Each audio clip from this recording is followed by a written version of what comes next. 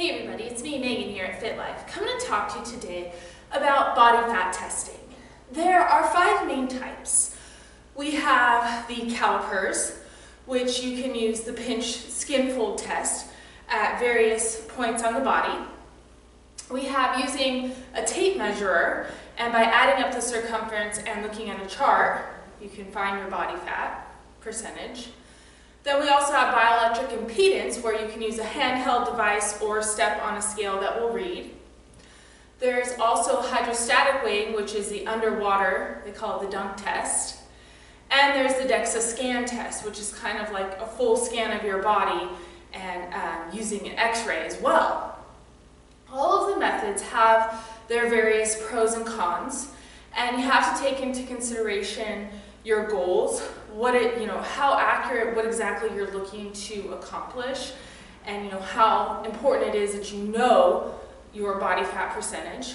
Cost. Some are more expensive than others. Of course, the underwater hydrostatic is going to be a lot more expensive than just using calipers. And what's available to you as well and where you go. You know, sometimes the DEXA scan is only available in labs where you could very well do the measuring tape test anywhere, right?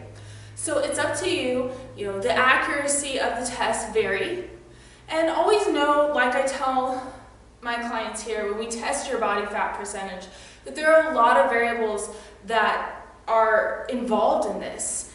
And you know, stress, hydration, what you've already done today. If women are on their menstrual cycle, we don't do it. And so I always say, as long as it's going down and in the right direction, if that's what you're looking to accomplish, then hey, you're making progress. Just don't expect these, you know, 10% drops, right? Be realistic on your fitness journey. And so I just wanted to share those various forms of body fat, body fat type testing with you. Here we are able to use the calipers as well as bioelectric impedance. All right, everybody, have a great day. Thank you.